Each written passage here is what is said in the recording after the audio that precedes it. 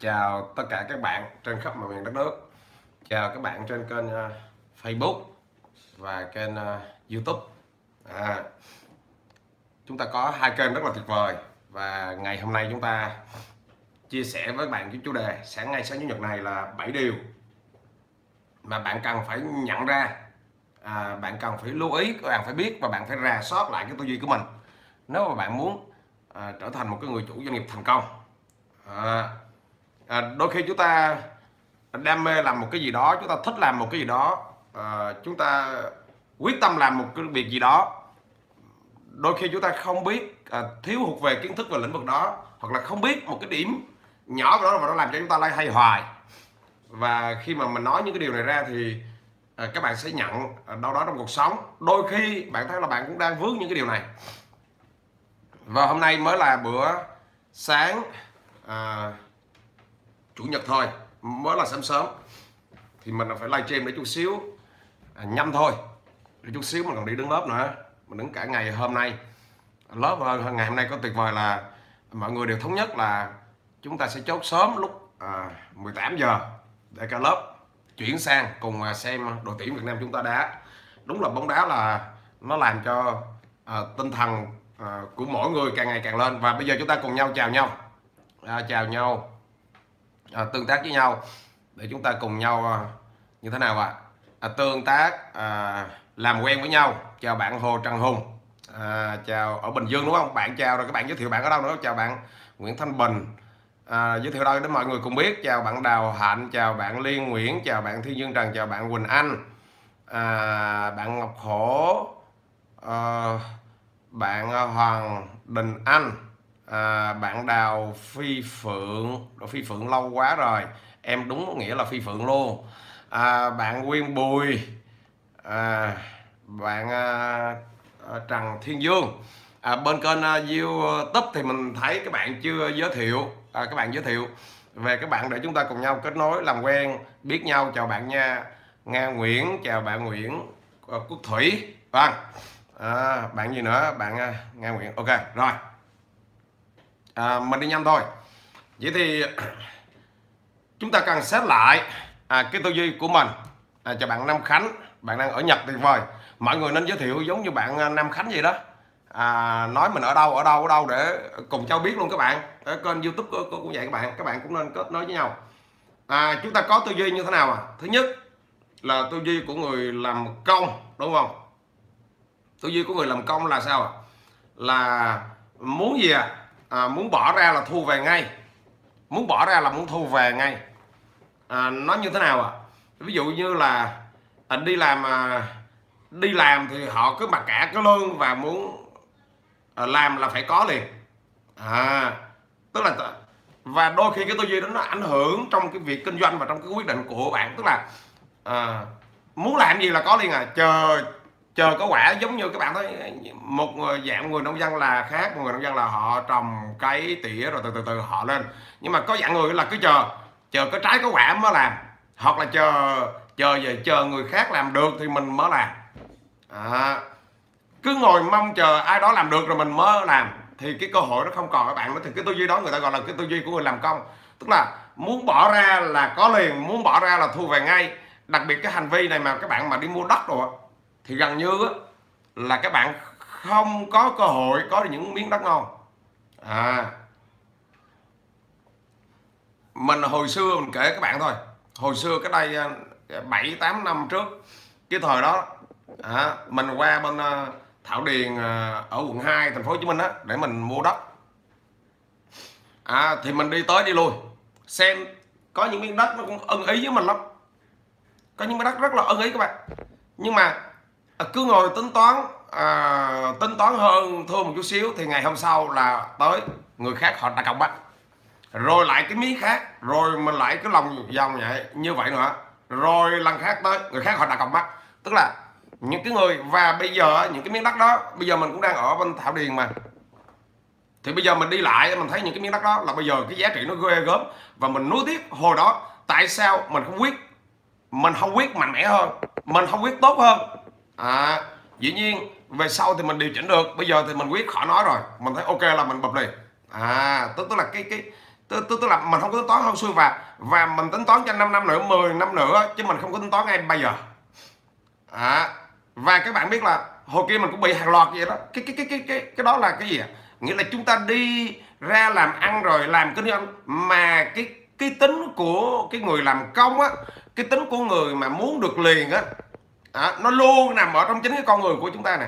Nó nó không có nó không có chịu gì à? Nó không có chịu thoát ra. Hoặc là hoặc là ví dụ như là cái tính cách đó nó hành xử trong kinh doanh của bạn nó như thế nào? Ví dụ như là à, bạn à, muốn ra khởi nghiệp à, mà bạn như thế nào à? à bạn tính toán so đo để làm sao mà ra là làm được liền. À, mà trong khi kỹ năng về kinh doanh không có kiến thức kinh doanh không có kinh nghiệm kinh doanh không có. Tất cả những điều đó nó không có. Nó làm cho bạn gì như thế nào à? nó làm cho bạn à, à, sau 6 tháng không đạt được thành quả các bạn nản quá bạn tưởng kinh doanh khó lắm các bạn bỏ. À, các, các bạn tức là cái cái cái cái suy nghĩ và tính cách của người làm công nó ăn quá nặng vào trong con người của bạn rồi. Mà họ không hiểu rằng là là chúng ta phải chuẩn bị từ 2 đến 3 năm chuẩn bị về những cái kiến thức kinh nghiệm kỹ năng rồi đó. Nó nó nó nó ở trong chính cái con người của bạn á rất là lâu. Thì các bạn mới làm được. Thì tư duy mà muốn mà được liền là người ta gọi là tư duy của người làm đi làm thêm á. Bạn đi làm thêm là là sao? Tức là bạn muốn bập cái đó là bạn được liền. Tư duy làm thêm. À, những người làm làm làm thêm họ làm thêm thời vụ đó các bạn có hiểu không? Họ muốn làm cái đó là họ được liền. Họ muốn làm là họ được liền. À, họ muốn làm hết giờ đó là trả cho cho tôi liền à, nhà mình à, có cái chị à, lao công này chị đang làm cho cho cái công ty dịch vụ vệ sinh. À, và như thế nào ạ? À? và chỉ à, được nhà mình à, nhờ chỉ làm một tuần có mấy tiếng đồng hồ thôi. Và làm xong tiếng đồng hồ đó là nhận liền làm xong là nhận liền. Đó là tư duy của người làm thêm. Họ họ hơn thua lắm. Đó, họ không có chịu đầu tư họ hơn thua lắm. À, và nếu mà bạn mà ra kinh doanh bạn bạn cứ cái cách hành xử như vậy á à, thì nói thật với bạn là à, không thể làm kinh doanh được. À, bạn không thể làm kinh doanh được bạn chỉ là cái người làm thêm thôi. À, à, tết này nè à, nhảy ra làm thêm thôi. À, và và cái tư duy làm thêm á, họ cũng không có giúp cho họ làm tết lâu dài được. À, chào bạn Nguyễn Trí Dũng chào bạn à, Khắc Khâm. À, không lâu dài được bởi vì Tết năm nay mà họ nhảy ra họ làm thêm mà không được thì Tết sau năm họ không dám làm họ nghĩ là khó lắm. À, đó đó là cái thứ nhất mà các bạn phải bỏ qua cái thứ hai là là cái tư duy của người gì à, à làm theo tháng. Họ cứ nói theo tháng tới tháng là lãnh lương thì cái tư duy này người ta gọi là nó là tư duy của người làm công. Đó. như thế nào tư duy của người làm công? Tức là tới tháng thì lãnh lương à tức là cái các các các bạn thấy chưa? Có người á gọi là cái quy trình thời gian là theo ngày. À, có người thời gian á à, ok bạn trí dũng. Có người thời gian á là theo tháng. Cái quy trình của họ là theo tháng. Mục tiêu của họ là theo tháng. Tới tháng là lạnh luôn. À nó là mọi cái công việc mọi cái sự nói chuyện của họ họ là tập trung theo tháng. Họ hay hỏi người khác là, là à, à cậu mới chuyển sang công ty khác mức lương của bạn bao nhiêu? À, năng lượng lắm em. À, bạn mới à, à, làm bên đó lương cao không? À, à, ok tháng vừa rồi công ty mày nó nó nó có trả đúng ngày chủ nhật hay không? À, quên à, đúng ngày cuối tuần hay không? À, hoặc là đúng à, à, ngày cuối tháng hay không? Hay là à, nó trả ở những cái ngày à, à, à từ mùng năm mùng mùng mùng mười. À, tư tư duy chung của những người làm công họ là như vậy. Họ có tính theo tháng. Rồi là giờ này những ngày cuối năm nè à, họ có hỏi là à, công ty có à, thưởng hay không? Có tháng 13 hay không? À, à, và thưởng nhiều hay không? Thì toàn bộ tư duy đó là tư duy của những người đi làm đi làm thuê. À, và nếu mà bạn đi ra làm chủ doanh nghiệp mà bạn vẫn còn vướng vướng cái điều đó ở trong đầu của mình à, thì bạn thuộc cái nhóm gì à bạn thuộc nhóm đinh. À, bạn thuộc nhóm nhóm đinh. Tại sao phải phân biệt rất là rõ ràng như vậy? Bởi vì khi mà bạn bạn đã đi ở con đường này rồi mà tư duy bạn vẫn nằm ở con đường kia thì bạn tự mâu thuẫn đối với chính mình và bạn phá vỡ toàn bộ cái kế hoạch. Ví dụ như, ví dụ như, bạn đã vào chùa, bạn tu rồi, mà mà mà tâm bạn nó vẫn không ở trong chùa tâm bạn nó vẫn cứ ở ngoài chùa. Các các bạn hình dung ra cái cái cái ví dụ của mình không ạ? À? tâm bạn vẫn ở ngoài chùa. Nghĩa nghĩa là cái cái cái thân xác bạn ở trong chùa, nhưng nó vẫn không có, nó không có kiểm soát được bạn bởi bởi vì cái tâm của bạn nó bay ra khỏi chùa rồi, nó nó đang bay ra ở ngoài các cái con đường các cái con phố kia. À, ý ở đây nó là như vậy á. Chúng ta à, mang tiếng là chúng ta ra là làm kinh doanh. À, mà chúng ta còn ngồi à, chăm mong à, tới tháng lãnh lương. À, nghỉ cuối tháng thì cái tư duy đó là tư duy của những người làm theo và nó làm như vậy nó làm cho bạn tự mâu thuẫn và bạn phá vỡ cái kế hoạch cái con đường của mình thôi. À, cảm ơn các bạn. Càng ngày các bạn lên xem càng đông. À, các bạn có thể là chia sẻ cái livestream này về nhà các bạn. Các bạn nhớ bấm like nhớ bấm like nhớ comment để chúng ta vui giới thiệu về mình để mọi người cùng biết ở tỉnh nào khu vực nào. Có bạn nói là bạn đang ở bên Nhật có bạn nói bạn đang ở Bình Dương tuyệt vời để chúng ta cùng nhau biết các bạn ơi. À, à, mình cũng chia sẻ nhanh thôi chút xíu nữa mình phải lên lên, lên lớp rồi. À, và cái lớp à, lớp hôm nay là lớp à, đào tạo và huấn luyện nhân viên. Cái lớp này vui không thể tưởng. À, và hơn 50 bạn ở lớp này cực kỳ năng lượng. Và ngày hôm nay họ đang làm những bài tập rất là tuyệt vời. À, vâng và chúng ta à, lại tiếp tục các bạn chúng ta lại tiếp tục. Vậy thì vừa rồi các các các bạn cái nhận ra à, à, cái cái hệ tư duy nó khác nhau à? à nó rất là khác nhau đúng không? Đó là tư duy của người làm thuê. Tiếp theo là tư duy của người làm tư là họ tính theo năm. Họ tính theo năm. À, họ đặt mục tiêu theo năm. À, chào bạn Đỗ Phú Cường. Họ đặt mục tiêu theo năm và họ họ cuối năm là họ phải có kết quả à, họ cứ theo năm họ cứ tính theo tuần năm tuần năm tuần năm là tư duy của những người làm tư á. làm tư là gì? Làm tư là một mình họ làm. Họ cũng không phải đi làm thuê cho họ không có cái ông chủ đâu trên họ đó. À, ông ông chủ trên họ thì cùng lắm là vợ của họ thôi. À, ok chưa? Boss của họ thôi vợ của họ là boss của họ thôi. Chứ còn họ không có cái ông chủ trên họ cũng không có ai ra lệnh cho họ đó. À, cùng lắm là boss của họ ra lệnh cho họ thôi. À, đó đó là vợ của họ thôi. À, và và họ cứ mục tiêu của họ là cuối năm. Cứ cuối năm là là là tổng kết cái hạch cuối năm họ suy nghĩ. Và và cái quỹ thời gian của họ là nó chỉ có nằm bao nhiêu thôi. Nó chỉ nằm bao nhiêu thôi. À, cứ cuối năm một cuối năm một cuối năm một họ tính theo năm vậy. Năm nay ráng cố gắng à, à, được khoảng bao nhiêu tiền đó rồi sang năm ráng cố gắng được bao nhiêu tiền đó. Tức là một tôi tôi dư theo năm. Nhưng mà những người đó bắt đầu là đã tốt rồi. À, và cái này nó ảnh hưởng trong cái hành vi các bạn đi đầu tư đồ luôn à, những người mình ví dụ đi những người mà mà tôi duy làm thế là họ đi mua đất là họ căn cái miếng đất đó ngon lắm rồi họ muốn bỏ ra là ngày mai họ bán lại là họ có lãi này đó là họ mới đi vay tiền họ không đủ tiền họ vay. Họ nghĩ chắc ăn như vậy để họ làm. À, tư duy của những người làm công thì theo tháng thì họ mua họ chấp nhận một vài tháng đó họ lên rồi họ bởi tư duy của những người theo năm á thì họ như thế nào à?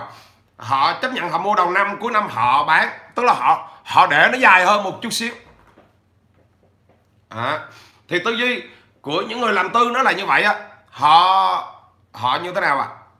À, họ mọi thứ họ quyết định cá nhân họ. Họ cứ tính toán cuối năm là họ uh, họ sẽ có tiền họ sẽ năng lực. Nó là cái mình nói đi nói lại mà cái tư duy nó giúp cho cho cái cách mà bạn vận hành sau khi mà nói à, những cái yếu tố đó xong rồi bắt đầu mình nó tổng cái lại để các bạn thấy là cái tư duy nó nó vô cùng quan trọng. Rồi à, tư duy của những người của những nhà đầu tư là tư duy như thế nào ạ? À? là họ tính từ 3 4 5 năm. Họ tính từ 3 4 5 năm. À, ví dụ ví dụ như là bây giờ mà bạn đang làm công đi mà bạn muốn ra làm kinh doanh thì bây giờ bạn phải à, có cái sự chuẩn bị à, mình đầu tư mình tìm đầu tư về kiến thức kinh doanh về những cái kỹ năng kinh doanh về xây dựng những cái mối quan hệ trong kinh doanh tìm kiếm nhìn ngó cái sản phẩm nào ok. Mà thứ ok rồi bắt đầu là họ ra ừ, họ chuẩn bị thôi họ chuẩn bị cho mình à, về website về kiến thức marketing về bán hàng. Họ tập tập tập họ vẫn làm họ vẫn đang làm công các bạn mà họ đang chuẩn bị cho mình những cái việc đó rất là kỹ. Cho tới khi mọi thứ hội tụ chuẩn bị đó nó mất cả 2 năm 3 năm rồi hội tụ rồi bắt đầu là họ mới dành thời gian ra để họ họ dành một năm để họ thực tập để họ biết. À, là mất hết cả 3 năm các bạn thấy chưa? Rồi sau đó bắt đầu họ có những cái kết quả đầu tiên. Đó những những cái người như vậy á thì những người là bắt đầu họ có cái tư duy của một nhà đầu tư. À, giống như một người nông dân á mà bài bản là họ biết gì à? Bây giờ mình trồng những cái cây đó thì mất hết 3 năm 5 năm nó mới ra trái được còn tư duy của cũng người nông dân mà tư duy của những người làm thuê là họ canh cái cây gì á nó có mùa họ mới làm liền. À, làm liền thì họ à, họ như thế nào? Thì tự nhiên á lỡ ngay cái mùa đó nó như thế nào à, à nó không có đạt à hoặc là nhiều người cũng làm quá là họ mắt trắng họ chặt cây đi họ bỏ. Họ chặt cây đi họ bỏ. À, chào bạn thảo nguyễn. À, bạn hiểu chưa? Tức là họ à, họ tính là ăn liền vậy đó. À, rồi hoặc là bạn đi mua đất đi. À, hồi kia cũng vậy cách đây à, mấy năm trước à, bảy bảy à, bảy sáu năm trước mình với một bạn nữa đi ra ngoài quận chín à, mua đất. Thời đó thì mình mua một lúc là 4 lô luôn. À tại vì mình thấy ok tại vì mình quen rồi. Mình nhìn cái đó mình quen mình mua rồi. Mình mua mình để đó mục tiêu của mình là 4 năm năm à một bạn kia cũng đi với mình mua một lô. Thì mình nhớ hồi đó mua cho nó là 10 triệu một mét vuông. À sau đó lên 13 triệu mét vuông 3 triệu mét vuông bạn bán mất. À mình muốn nói bạn bạn bán đi. Mình mình cũng không quan tâm bạn hỏi mình bán cho mình kêu chưa? Không có quan tâm bởi vì thì mấy tháng sau á đâu khoảng ờ, khoảng à, bảy tám tháng sau á là bạn đó bán và nó lên khoảng 3 triệu một mét vuông. Cách đây à, à, khoảng sáu bảy năm trước á. mình thì mình cũng không quan tâm tại mục tiêu của mình là 3 đến 5 năm mà.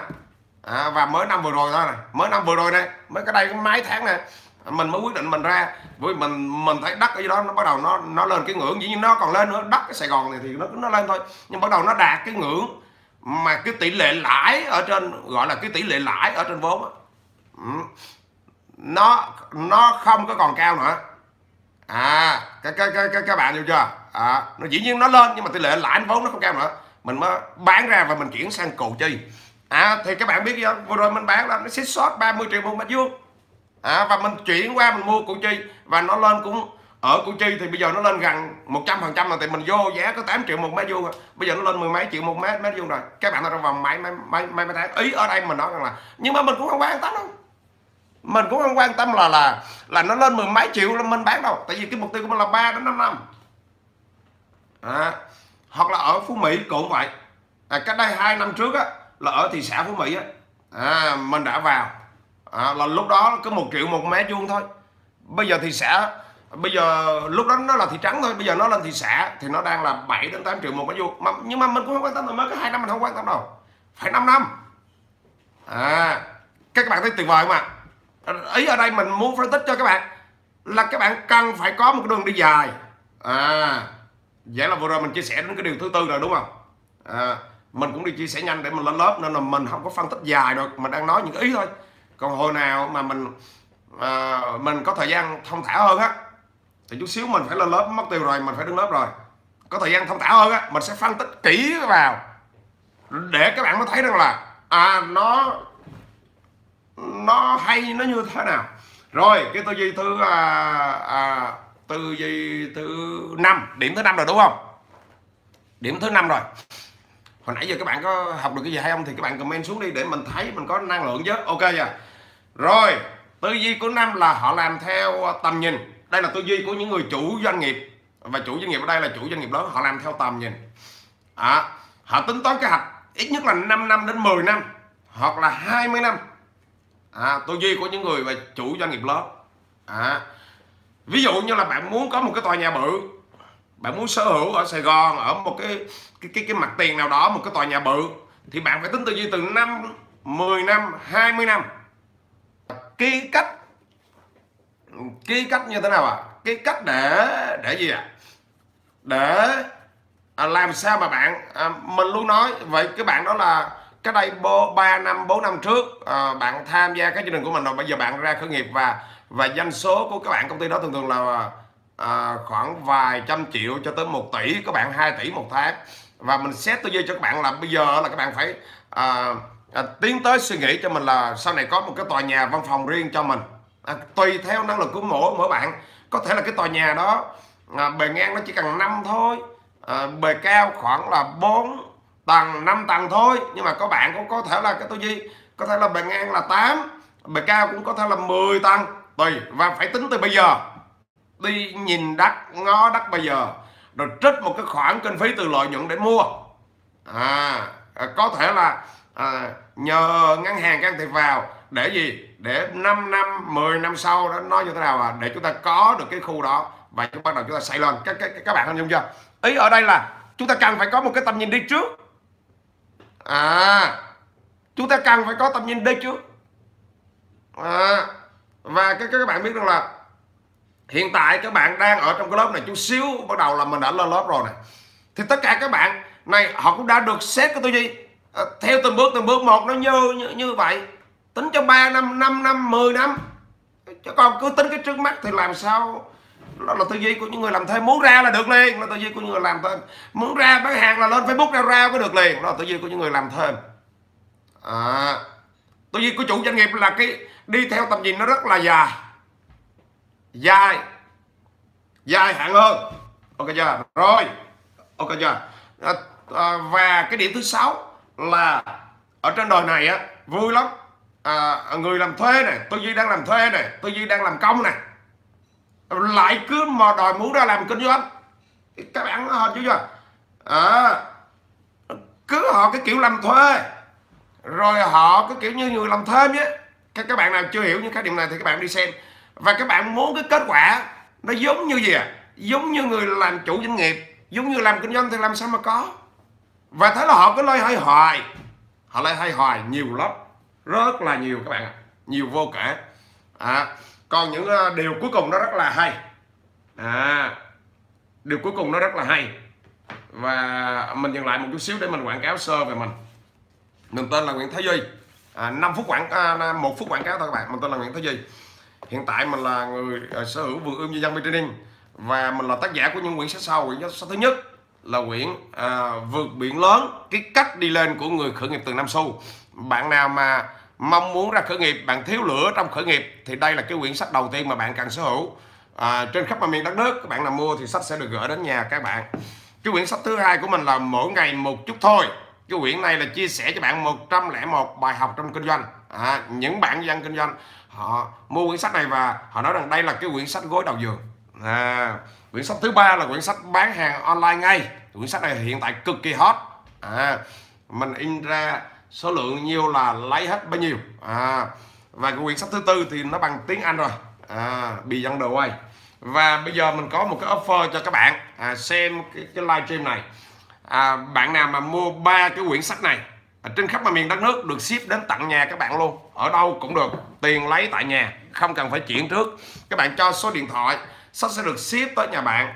Ba quyển sách là 330 ngàn free ship trên toàn quốc. Và à, điều kiện của các bạn à, khi tham gia cái này là các bạn sẽ được ép vào một cái group. Và cái group à, cái group đó là group kinh doanh hiện tại cũng đã hơn 500 người rồi. Vào tối thứ ba tuần này muốn tham gia group thì phải sở hữu ba quyển sách này. Tối thứ ba tuần này tối thứ ba lúc 9 giờ tối mình sẽ chia sẻ ngay cái khóa học kinh doanh và khởi nghiệp vào trong cái group đó hoàn toàn miễn phí. À tối thứ ba tuần này thôi à, là bắt đầu mình rảnh và mình sẽ chia sẻ rất là sâu về kinh doanh ở trong cái group đó. Thì à, các bạn nào sở hữu ba cái quyển sách này thì các bạn sẽ thông báo xuống dưới này để mình biết. Tuy nhiên khi có đường link thì các bạn phải trả lời được những câu hỏi trong đó thì các em nhân viên họ mới biết là bạn đã sở hữu sách thì họ mới như thế nào? Họ mới ép các bạn vào trong cái group đó. À, cảm ơn các bạn rất là nhiều.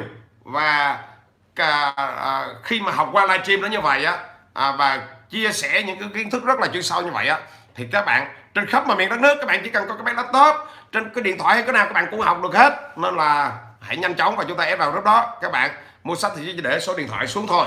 Vâng cảm ơn các bạn rất là nhiều. Bây giờ mình lại đi tiếp.